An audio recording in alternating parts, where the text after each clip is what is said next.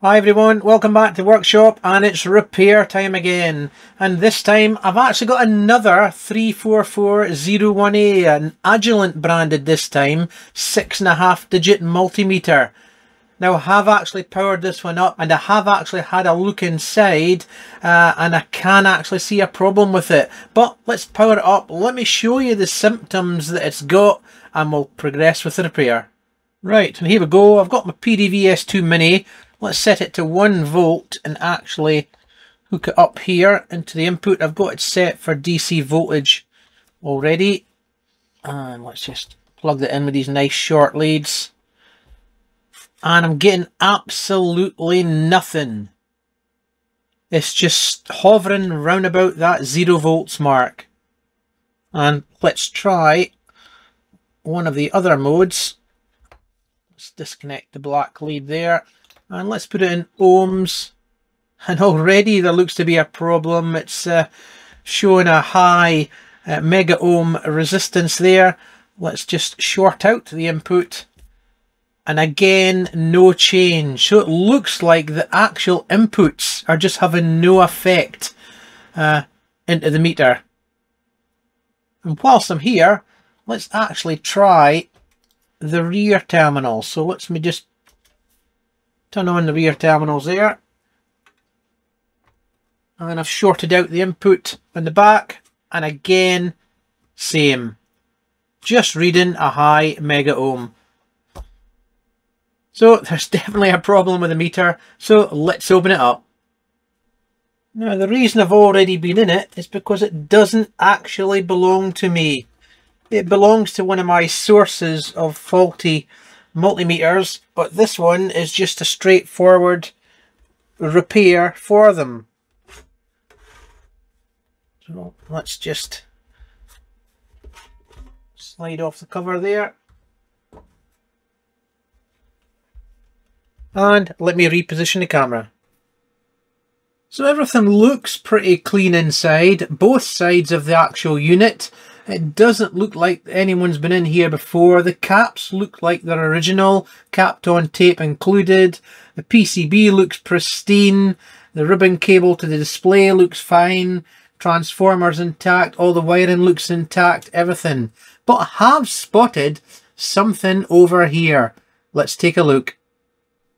Hopefully you can see down here, the right near the front of the meter, right next to the inputs, you can see a couple of inductors down there, L101 and L106. And not sure if you can see that, but both of them are cracked.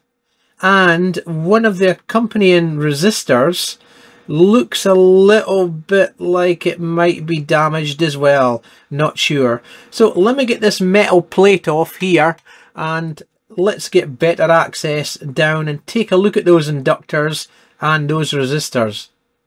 But first of all, let's take a look at the schematics.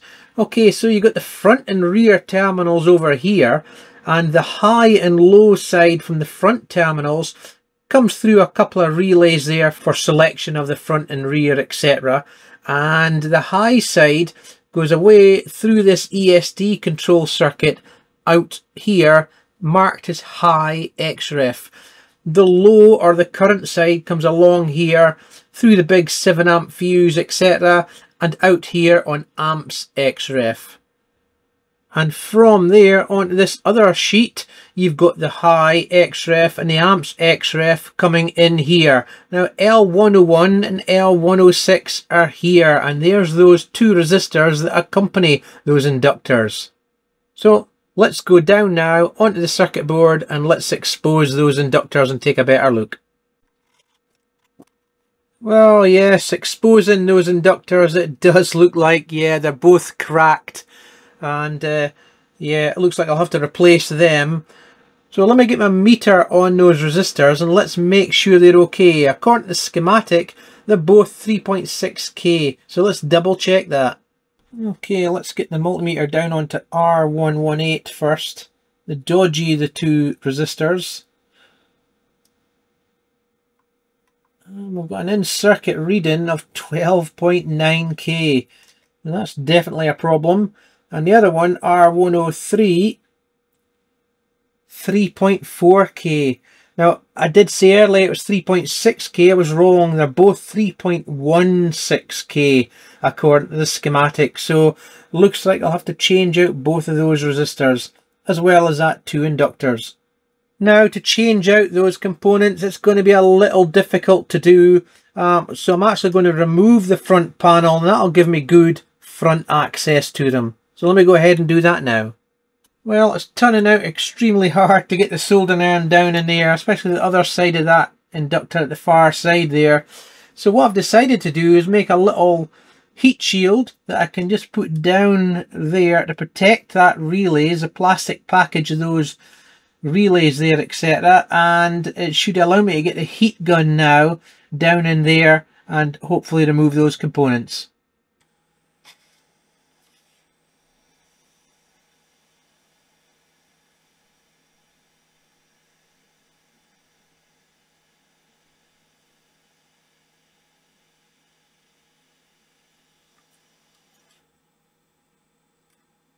That's one of the inductors out. Let's try the other one.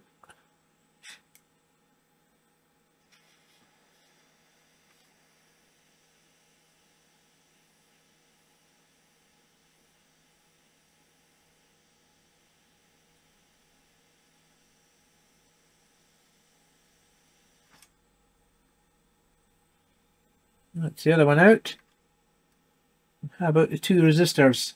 Well, I should manage them with a soldering iron, but since I'm here with a heat gun, let's just get that in about.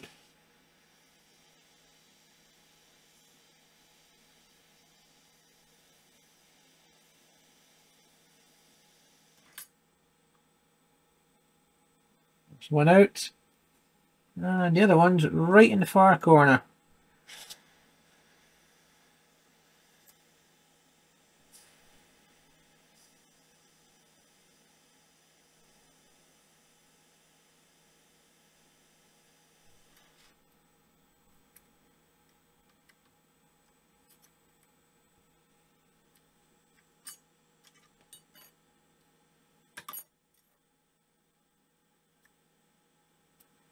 And there's the last resistor. Well, looking at this inductor, it's got the top cracked off of it. It looks a bit black and burnt inside. So I would say that's had some rather large amount of current going through it and it's just gone. And the other one, although it's still intact, it is cracked across the top in much the same way. So let's try the resistors now out of circuit. Uh, 3.4k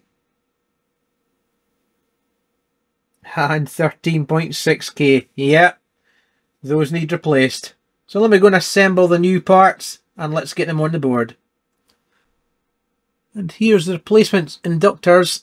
I managed to pick up a couple of 1 millihenry inductors, which is the same spec as what was on the board. So they can go straight on. I think they're a very similar package as well. Should go straight on. Well, that's the components soldered back in place. And the question is, have the relay contacts been damaged? Have I got a melted relay? Well, I think the relay contacts are hopefully more robust than the inductors themselves, etc. So hopefully we're okay. But the only way to find that out actually is just to power the unit up and give it a test. So we're ready for a power up now. Let me go and put the meter back together. Let's get the front panel offered up and let's get some power in. And there we go, I've got power up. Now I don't actually have the shields in place, so the inputs might be a bit noisy if it does indeed work. So let's try ohms first. And let's try putting a wire across the input there. Well, let's see if I can get zero ohms. And uh, no, still got a problem. Okay, and I think I found another problem. There's a 5.0 ohm resistor here. Uh, to be 0.1% and or 1% according to the component, but the parts list says 0.1, but uh, yeah, 1.1 meg. Now that's a, a, a precision resistor, 5.0 ohm, 1%. I'll need to get one of them, but I think for the time being, just to test, I'll stick a 5 ohm resistor in parallel with it and let's see if that uh, fixes the problem. Okay, let's try that again. Power on. Get into ohms mode and let's stick a cable up the input. Nope, we've still got a problem. Okay, so what I've gone ahead and done is I've hooked up my PDVS2 Mini, set it to 1 volt and put it across the uh, inputs there. I've got power on and I've verified that I'm getting a signal through the relays, which I was a bit worried they were melted, but uh, they seem to be switching okay anyway. And I am getting 1 volt all the way along to this uh, high XREF here. And that comes down onto this schematic here. It goes away through K101 relay, which is switching as well. And there's that to two inductors that had changed there. And then it goes away back up here through this inductor here. And this inductor is open circuit as well. So it's a different size, 10 microhenry. I'm going to have to go and change that one out as well. Right, I don't have a 10 microhenry inductor as yet. I'll order one. So I've put in a half ohm resistor. Same package. So just temporarily. So let's put power on. DC voltage mode. Let me just switch on the PDVS2 Mini. Just slightly off camera there. Set it to 1 volt. And let's put in the input here and see what happens. And yes! 0.9991 volt exactly, 5 decimal places. Can't complain at that. Looks like I've got the inputs working. Let me just toggle the front rear switch. Yes, that appears to be okay. Right, let's try another mode. I'm presuming that the resistance mode will work okay as well. So let's just uh, in ohms and let's just short out the input initially and see what happens there. And I've got an overload. Brilliant. Let's stick the input in and yes zero ohms effectively. That's great. Now let me just try a known resistor value. I've got my resistance box here let's just go for 10k yes spot on 10k. The calibration of this unit's actually quite good. About 100 ohm. Yes, 100k. Yes, spot on. Happy with that. Okay, so let me go ahead and order that 10 microhenry inductor and of course this precision resistor over here, this 5.0 ohm 1% uh, resistor or 0.1% according to the uh, uh, parts list, but it says 1% on it. Well, I'll try and get the best I can. We'll get them fitted and we'll take it for there. Well, there is the 5 ohm resistor that I removed from the board, and you can see my temporary resistor across it for testing. But let's look at the other side. Actually, it's been blown apart. And uh, yeah, the other part of it is nowhere to be seen, so it must have made its way out of the case. But uh, yeah. 5 ohm resistor, 1%, 20 ppm temperature coefficient. So I'll see if I can find one of these. Well, step forward a couple of days, the parts have arrived and I fitted that new inductor that I was waiting on and cleaned up the board there, looking good. And down here, just about out of sight, is the new precision resistor. Okay, so here we go, ready for a power up again. Now I'll just connect up the PDVS2 Mini. Power up first.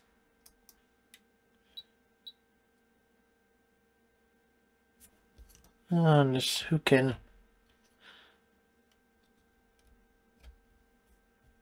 And yep, we've got spot on 1 volt there, just about, so that's good.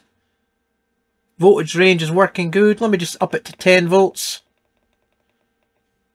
and extend the number of digits And that's not looking too bad. Everything's cold at the moment. 9.99983 volts.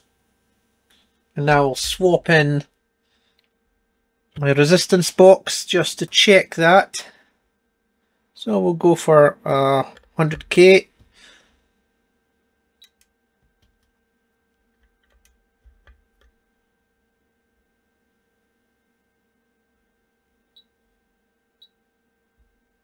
And yep, spot on. Pretty good. So I'm not going to box it back up just yet because I do actually want to test all the other ranges. I want to check that the current inputs are working, AC voltage, everything. Let's give this thing a good test and also let's uh, test the current right up to its maximum on the 34401A. Okay, and so off camera, I've got my HP 3245A hooked up onto the inputs here, and I've currently got it set to output 1 volt DC, which as you can see, it's not too bad there. Seems to match the PDVS2 Mini, no problem at all. So now I'll just run through some of the other ranges and inputs very quickly. Let's just make sure it's working. So the AC voltage input, 10 volts peak to peak coming in, that's 3.53 uh, volts RMS, so that's pretty accurate, no problem at all. And that 10 volts AC peak to peak, I've set it for 25 hertz, perfect. Okay, and I thought I'd switch over to my Keithley 225 current source, uh, just off camera there. I've got it set up for 50 milliamps output, so let me just uh, take it off a standby. And there we go, and we've got just over 50 milliamps DC. Perfect. The 225 does need recalibrated. Um, uh, that's for another day. I'm kind of letting it settle into the workshop before uh, I actually recalibrate it.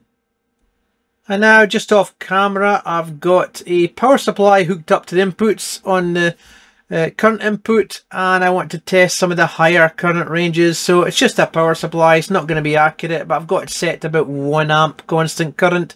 As you can see there no problem at all. So let's just take this right up to 3 amps which is the limit of that uh, current input there. And yep just under 3 amps and I'm getting 2.96 no problem. And a quick check of the diode input here Yep, it's managing the source okay for diode check. 0.5 of a volt. Turn it round just to make sure. Yep, no problem. Well, there we go. It's all back together again. I've gone through some further tests that I did off camera, uh, like the GPIB. It's working fine and a few more of the functions on the front. So quite happy that this unit's now repaired. I can return it back to my friend. Thanks for watching.